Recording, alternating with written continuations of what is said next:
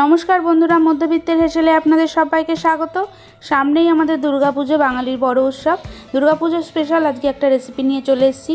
প্রতিটা বাঙালিই কিন্তু দুর্গাপুজোয় ষষ্ঠী কিংবা অষ্টমীতে লুচি খেয়ে থাকে। সেই লুচির সঙ্গে খাওয়ার জন্যই আজকে একটা নিরামিষ ঘুগনি, পেশান মশলায় বানানো নিয়ে চলে এসেছি। এখানে আমি দুটো আলু এইভাবে খোসা ছাড়িয়ে নিয়েছি আর পরিমাণ মতো মটর, পাঁচ ঘণ্টা মতো ভিডিয়ে রেখেছিলাম। এবার একটা প্রেশার কুকার নিয়ে নিয়েছি। প্রেশার কুকারের মধ্যে মটর আর আলুটা দিয়ে দেব। পরিমাণ মতো জলও নিয়ে নিয়েছি। এবার মটর আর আলুটা দিয়ে আমি তিনটে হুইসেল দিয়ে ভেপারেই রেখে দেবো। যখন আপন ইচ্ছায় ভেপারটা ছাড়বে, তখন আমি রান্নাটা শুরু করব। দিয়ে দিয়েছি। এবার এর মধ্যে দিয়ে দেবো সামান্য লবণ। এখন অল্প লবণ দিয়ে সিদ্ধ করছি। রান্না করার সময় স্বাদ মতো লবণটা দিয়ে দেবো। এবার প্রেশার কুকারের ঢাকনা আটকে আমি গ্যাসে বসিয়ে প্রায় তিনটে হুইসেল দিয়ে দেবো। এমনভাবে সিদ্ধ করতে হবে যাতে মটরটা সিদ্ধ হয় কিন্তু না গলে। সেই মতোই সিদ্ধ করে নেব। দেখতেই পাচ্ছেন সিটি পড়ে গেছে। এই অবস্থায় আমি রেখে দেবো। এই অবস্থায় ভেপারটা রাখার পরে আমি একটা মশলা তৈরি করে নেব। ততক্ষণ এবার একটা ফ্রাই প্যান বসিয়ে নিয়েছি, প্রথমেই দিয়ে দেবো দুটো শুকনো লঙ্কা, এইভাবে ভেঙে এবার দিয়ে দিচ্ছি পরিমাণ মতো ধনে, গোটা ধনে।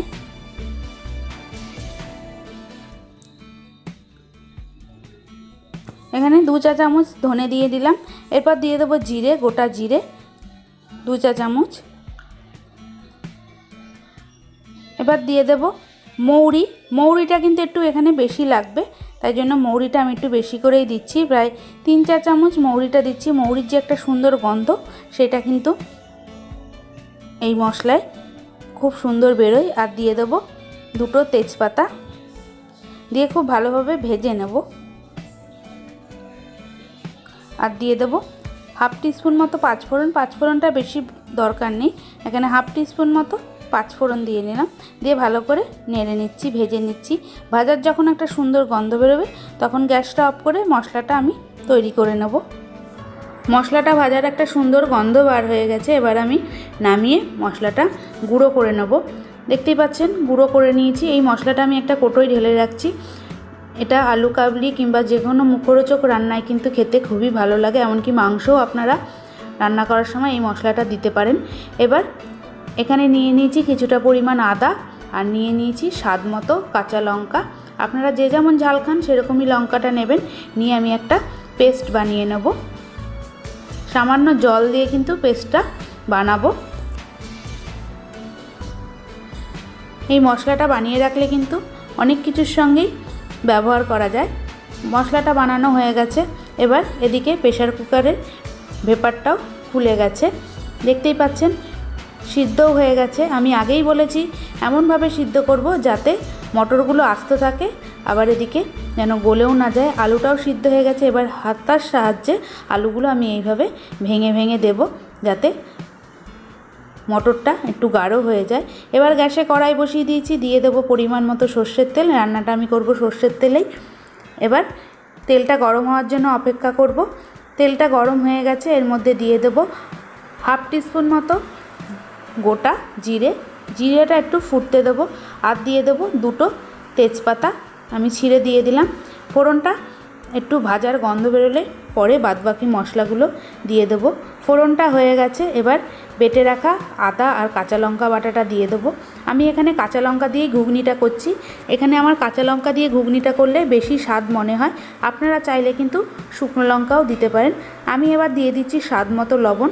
লবণটা একটু বুঝে শুনে দিতে হবে, কারণ আমরা মটর সিদ্ধ করার সময়ও কিন্তু লবণ দিয়েছি। এবার দিয়ে দিলাম ওয়ান টিস্পুন মতো জিরের গুঁড়ো দিয়ে দিলাম আর দিয়ে দিচ্ছি একটা মিডিয়াম সাইজের টমেটো কুচি।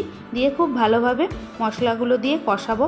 এবার দিয়ে দেব হাফ টিস্পুন মতো চিনি। আমি প্রতিটা রান্নায় অল্প একটু মিষ্টি ব্যবহার করি, তাতে কিন্তু রান্নার ব্যালেন্সটা খুব সুন্দর হয়। এবার দিয়ে দেব পরিমাণ মতো হলুদ গুঁড়ো। দিয়ে খুব ভালোভাবে কষিয়ে নেব।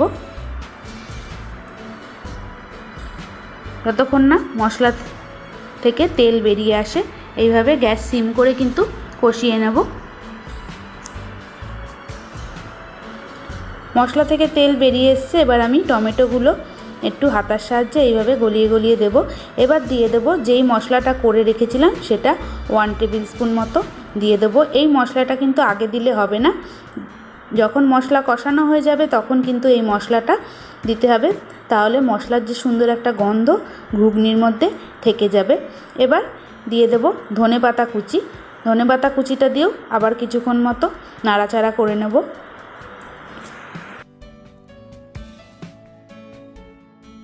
খুব ভালোভাবে মশলাটা কষানো হয়ে গেছে। সুন্দর একটা মশলার গন্ধও বের হয়ে গেছে। এবার সিদ্ধ করা মটরটা আমি দিয়ে দেবো, পুরোটাই দিয়ে দিচ্ছি। এটা কিন্তু আপনারা একাদশীর দিনেও যারা একাদশী করেন, তারাও কিন্তু রান্না করে খেতে পারেন। আর এই নিরামিষ ঘুগনিটা যে এতই সুস্বাদু, না খেলে কিন্তু আপনারা বুঝবেন না।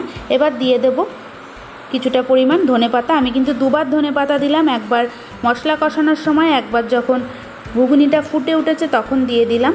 আর দিয়ে দিচ্ছি ভেজে রাখা মশলাটা আবারও আমি শেষে দিয়ে দিচ্ছি। এবার দিয়ে দেবো হাফ টিস্পুন মতো গরম মশলার গুঁড়ো।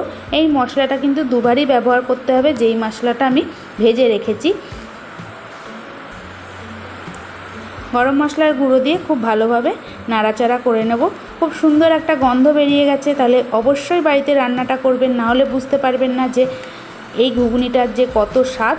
তাহলে দেখা হবে অন্য কোনো নতুন রেসিপি নিয়ে। আর আমার রান্নাগুলো যদি আপনাদের ভালো লেগে থাকে, অবশ্যই ফ্রেন্ডস অ্যান্ড ফ্যামিলির সঙ্গে শেয়ার করবেন। আর আমার চ্যানেলটি সাবস্ক্রাইব করতে ভুলবেন না।